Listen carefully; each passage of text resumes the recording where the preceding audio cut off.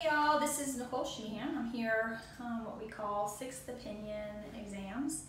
Um, often what people come to me for is that they've seen several veterinarians and can't figure out what's going on with their animal. So this is Olive. This is the first time I get to see Olive today. She's seven years old and she's had a couple really odd health problems. Um, she acutely lost her vision uh, about a year and a half or two years ago and we would consider that idiopathic, which means we have no idea why, which we kind of, in my world, we settle for as a diagnosis, and to me it means we just don't know. Um, there's always a reason that animals get a severe problem like sudden blindness, so um, we'll come back to that. Uh, but really what she's here for is she has fecal incontinence, which means she poops and she doesn't know she's pooping. So in her sleep, she'll have a little bit of poop come out. So some of these things we'll associate with for an older dog, but definitely not a young dog like Olive. So that in combination with this really sudden blindness that no one can explain, those two things together are a little bit suspicious for me for something. But I'm gonna go through a little physical exam for her and we're gonna see if I can find something on her physical exam that maybe someone who's practicing only traditional medicine won't look for. Um, so real quick, we'll go through and just look at a few things. Hey, Olive. Oh, you're so sweet.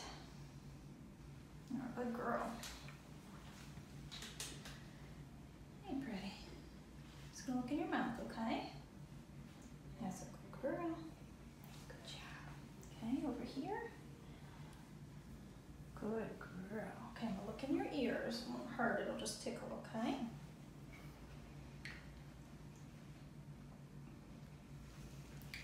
So I'm not really expecting to find anything out of the ordinary up here. And I'm not, all this is normal. Her eyeballs look healthy, although they don't register vision.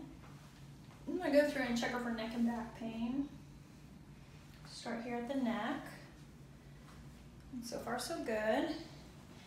And then because people are bringing me really difficult problems, I'm in the habit of checking every single thing I can check because you never know where you get a little clue.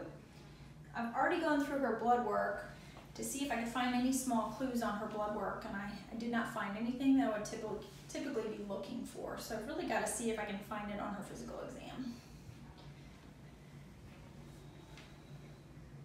Okay, so this is interesting. So when I come all the way back, and I get back to her lower back, this is one of the things I had in mind I could be finding, and you'll see just a tiny twitch.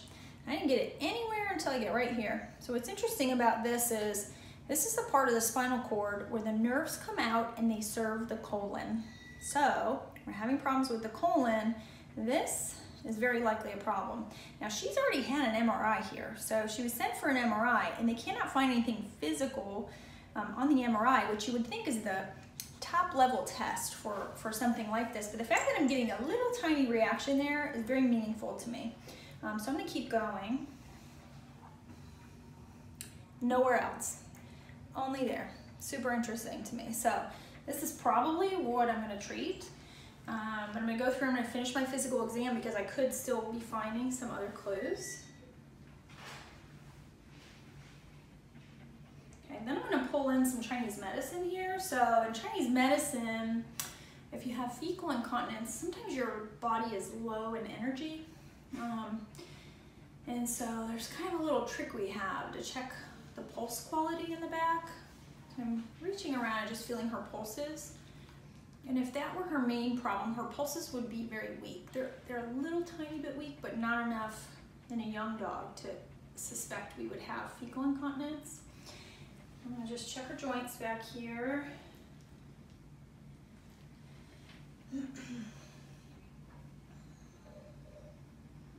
all of that feels good. And then I'm gonna look at her bottom, which you don't really need to see, but so this all looks normal. So sometimes I'll see an abnormality back here, um, but I don't. There's no puckering or anything.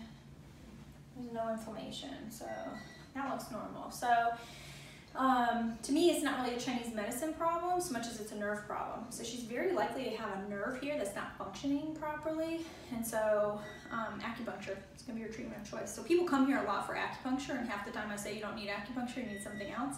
this time acupuncture might be the right thing because I want to treat this nerve that's not not right. And there's a chance that even though her MRI is, is normal, something could have happened and her pelvis could have shifted just enough to put pressure on those nerves and then the nerves aren't feeding the colon right. So right now she's being managed um, adequately on just Imodium, so over-the-counter Imodium, but her mom doesn't really want to do that. And often, the reason people come see me is because, yes, it's working, but in I feel like in a in her mom's you know gut, she knows that some there's got to be something else that can be done other than this band-aid. So, um, so we're gonna do her acupuncture, and then I'll come back and we'll see if she still reacts to it um, after the acupuncture needle.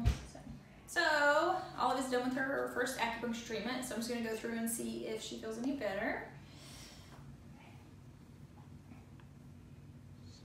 Yeah, she still has it, which confirms she's gonna need more treatments. Um, so I've told her parents she probably will need four. Um, and so we'll follow up with that in a couple weeks. See you soon.